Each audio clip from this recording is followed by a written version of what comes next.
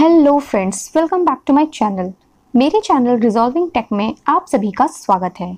तो friends today's video is all about Abha card क्या होता है ये आभा कार्ड और किस लिए यूज़ होता है? जानेंगे इस वीडियो में। उससे पहले, आप अगर मेरे वीडियो को पहली बार देख रहे हैं तो प्लीज़ मेरे चैनल को सब्सक्राइब करें और वीडियो को लाइक कर दें। So let's start the video friends आपको पता ही होगा कि सितंबर 2021 में हमारे इंडियन गवर्नमेंट ने एक मिशन लॉन्च किया था, जिसका नाम था Ayushman Bharat digital health mission.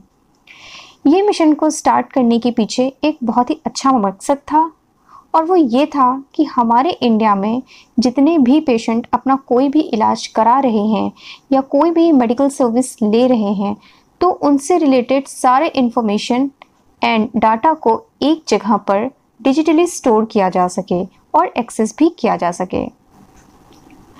दोस्तों, इसके साथ ही हमारी ministry of health and family welfare government of India यानी कि स्वास्थ्य मंत्रालय ने एक कार्ड लॉन्च किया, आभा कार्ड के नाम से। जिसका फुल फॉर्म होता है Ayushman Bharat health account card.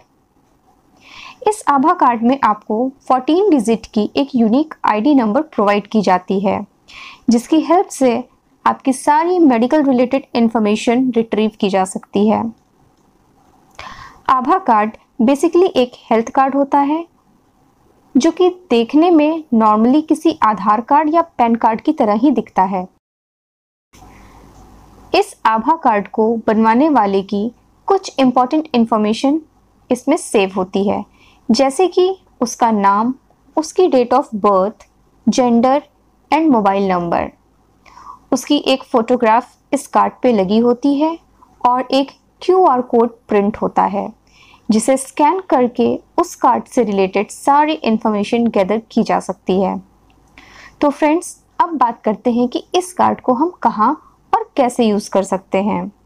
तो फ्रेंड जब भी आप हॉस्पिटल विज़िट करते हैं, आपको अपने पास कुछ इंपॉर्टेंट डॉक्यूमेंट रखने होते हैं, जैसे कि आपका अपॉइंटमेंट लेटर आपने कोई टेस्ट करवाया है तो उसकी रिपोर्ट्स या आपने कुछ मेडिसिन ली हैं तो उसकी प्रिस्क्रिप्शन और स्लिप्स एक्सेट्रा अगर आप गलती से कोई पेपर मिस कर देते हैं या भूल जाते हैं तो फिर आपको काफ़ी प्रॉब्लम फेस करनी पड़ सकती है।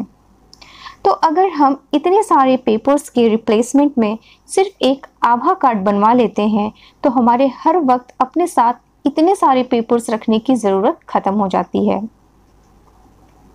क्योंकि हमारी सारी हेल्थ रिलेटेड इंफॉर्मेशन इस कार्ड में सिक्योर होती हैं। और आपको अपने साथ कोई भी अदर पेपर्स कैरी करने की ज़रूरत नहीं होती है, क्योंकि सारा काम इसी कार्ड से चल जाता है। दोस्तों, इस कार्ड के अंदर आपको आपके हेल्थ से रिलेटेड सारी इन्फॉर्मेशन मिल जाती है। जैसे कि अगर कभी आपको कोई बीमारी थी तो वो क्या थी? आपने किस हॉस्पिटल से, किस डॉक्टर से उसका इलाज करवाया?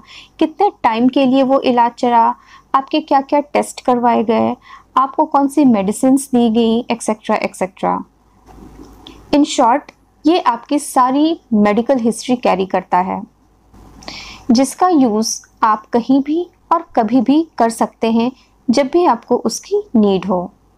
So friends this is all about Abha card and I hope now you understand कि आभा कार्ड क्या होता है और हमें कहाँ और कैसे यूज़ करना होता है।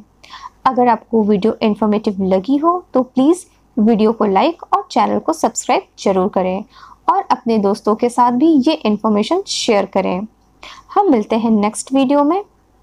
Till then take care thanks for watching.